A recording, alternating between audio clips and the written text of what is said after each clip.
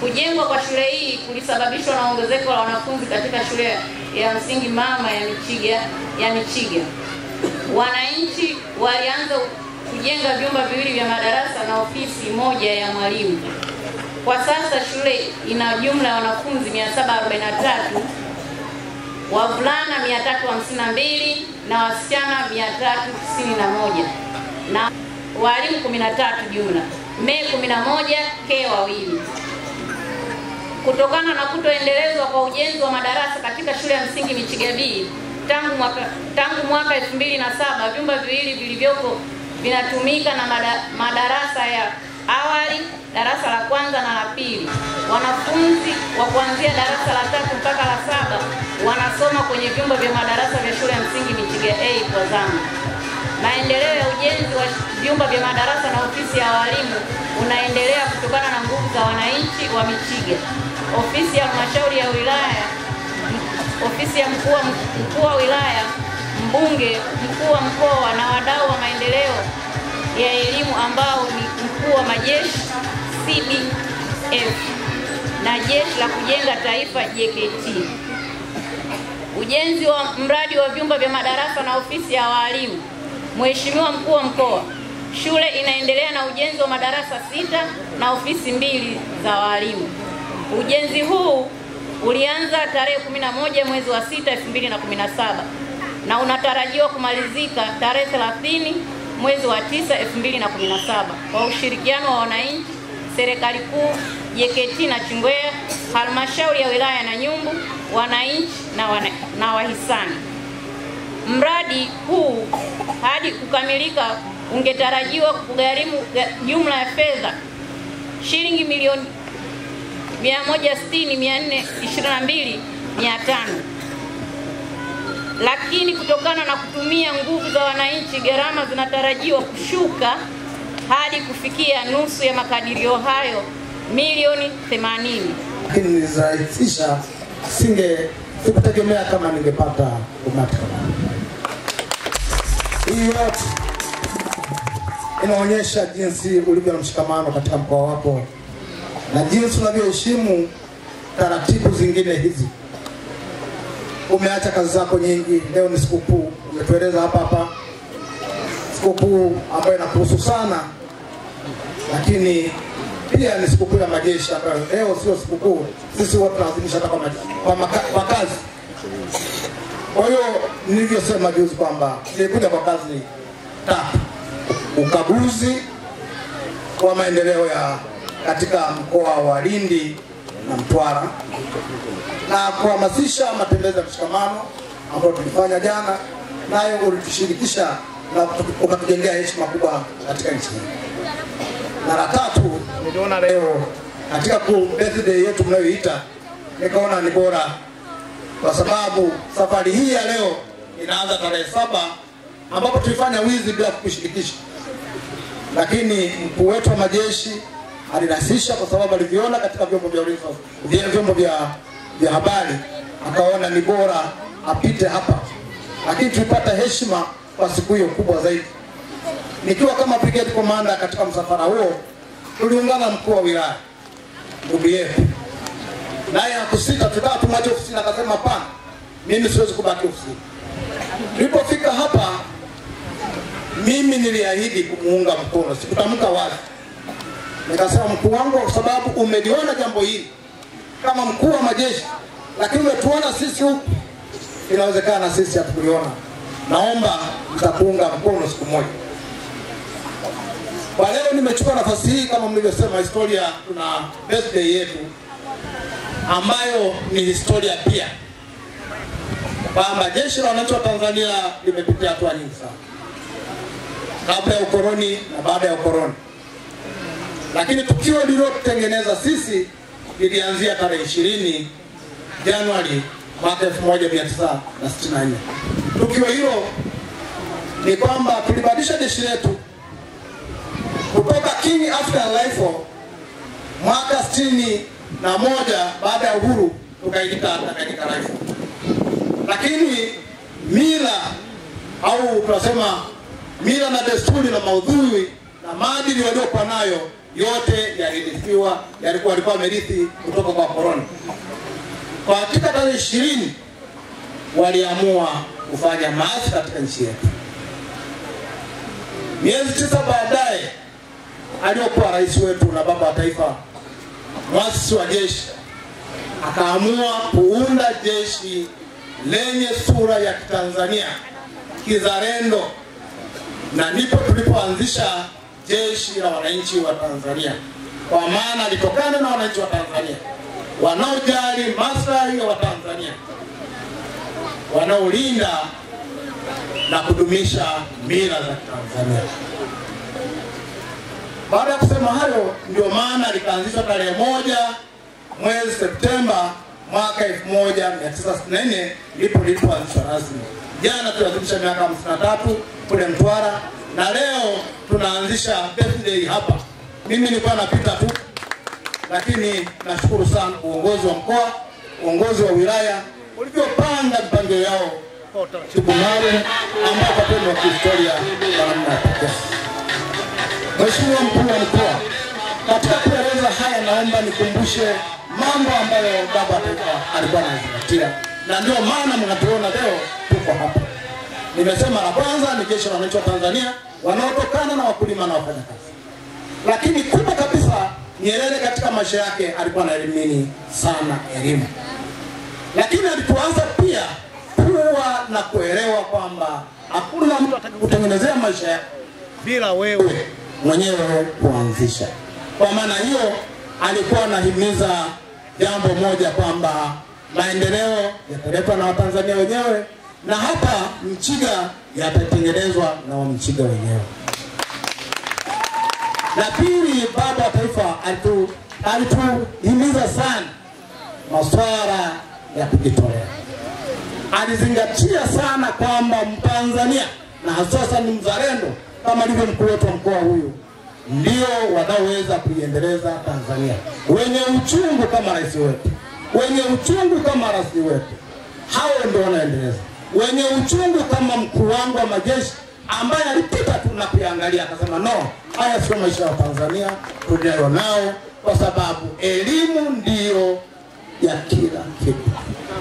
Ndipo hapo mnapotuona kwamba labda kwa nini mkuu wetu majeshi, lakini tunapofundishwa kule juu ukikosea e, watu bila kuwa na elimu katika lika hii, maana yake kila kitu, usalama wa nchi utakuwa mdogo kuliko mnavyotegemea, kwa sababu tafasiri na namna ya kupembua mambo yanakuwa mdogo.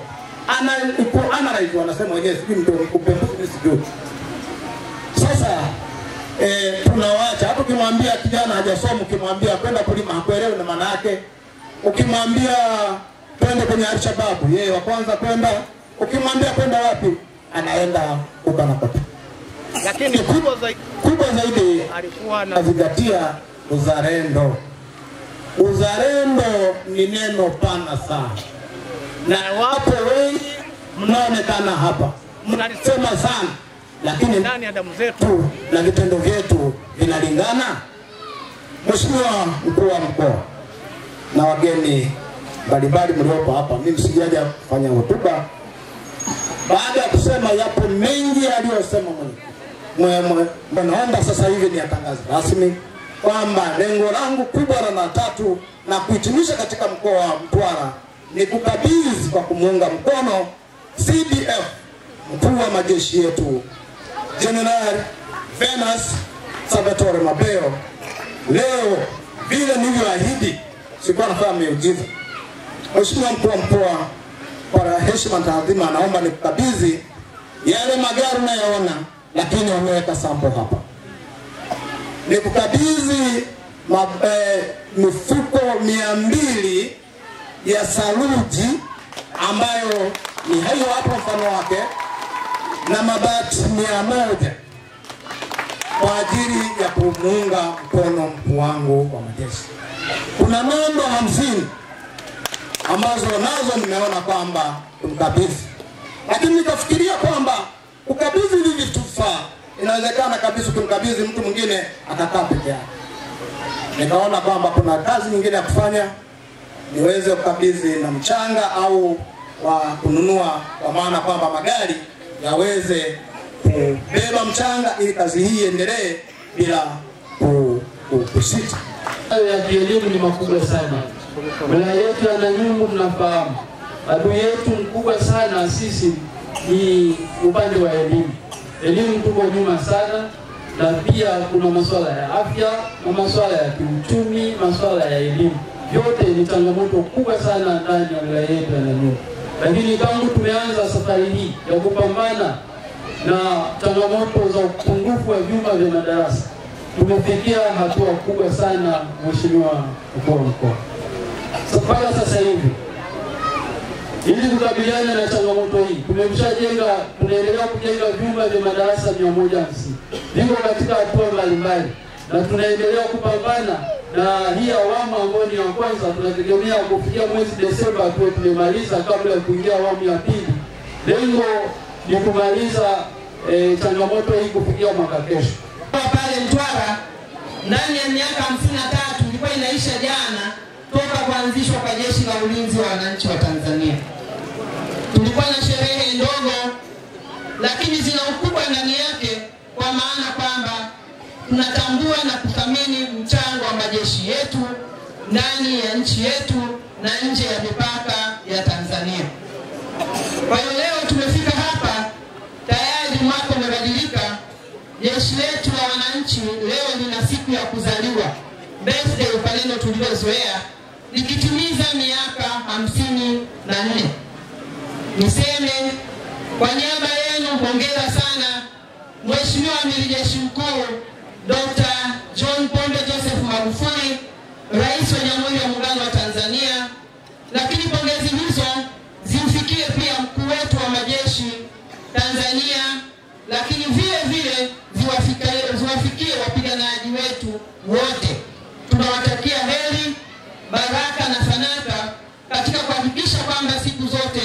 Wanaifanya Tanzania inakuwa salama, sisi na majirani zetu. Kwa hiyo salamu hizo ziwafikie viongozi wetu. Lakini la pili, leo ni siku ya Eid al-Hajj. Niseme Eid mbaraka kwa kila mmoja wetu. Tunamshukuru sana Mwenyezi Mungu tumeiona siku hii, na katika kuiona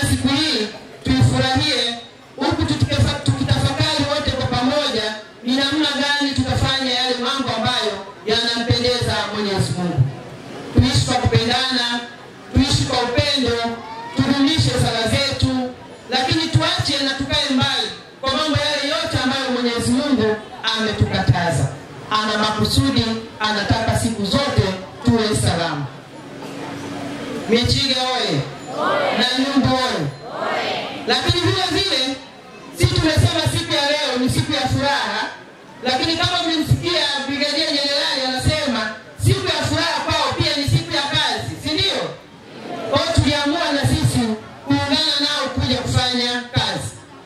Niwashukuru kwa namna ya kipekee. Mheshimiwa Diwani huko hapa, makofi mengi sana kwake. Wakati nimefanya ziara, Mheshimiwa Diwani aliniambia, Mheshimiwa, sitakuangusha mimi na wananchi wangu tutafanya makubwa, hutaamini. Na kweli leo nimeona. Mheshimiwa, ongera sana, ongera sana. Hawa wananchi hawakukosea kukuchagua. Nilikuta vyumba vichache vinne, leo nimekuta sita, tena vyote viko kwenye renta, kazi ya miezi miwili. Ongera sana kweli, hapa kazi tu imeeleweka. Michiga, Michiga oye! Kwa hiyo niwapongeza wananchi wote, naamini sio mheshimiwa diwani peke yake, ni nyinyi wote, kwa vile vijiji vitatu wakiongozwa na kijiji mwenyeji ndio mmeifanya ile kazi nzuri. Hongereni sana. La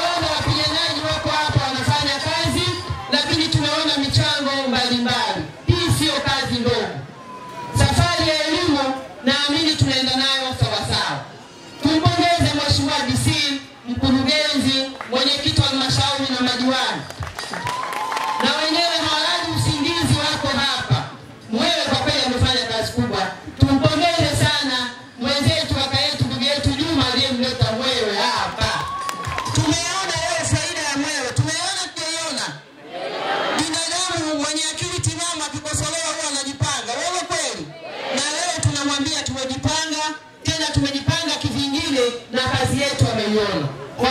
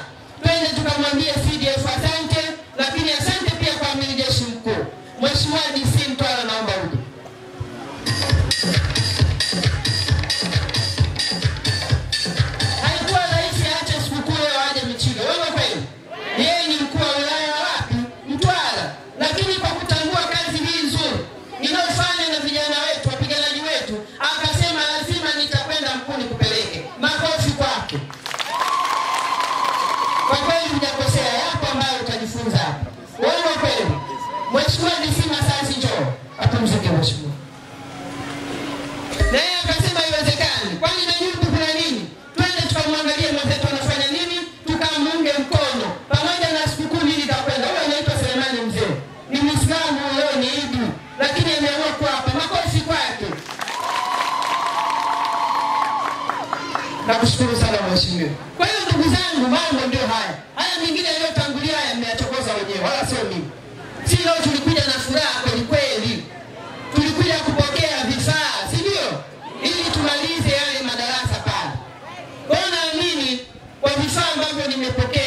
nimepokea mabati mia, nimepokea mifuko mia mbili ya simenti ya saruji, nimepokea hela taslim shilingi laki nne, nimepokea na nondo hamsini, ukichanganya na pesa za halmashauri tarehe thelathini Septemba na kuja nikabizi majengo yale.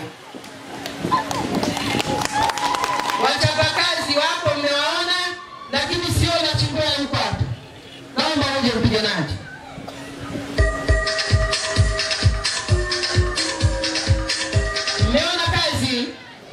Hapa ni utii wa sheria bila shuruti, unasonga mbele, unafanya kazi. Ameteuliwa na mheshimiwa mkuu wa majeshi aje akae hapa asimamie, mtafikiri takubali ujina ufanyike hapa? Kwa hiyo endeleeni kumuunga mkono ili siku ya mwisho tukabidhi bendera ya kazini, sawa? Mimi nasema tuko pamoja pale. Ukikwama, naomba kupitia ngazi tuwasiliane, tuhakikishe tunamaliza ile kazi.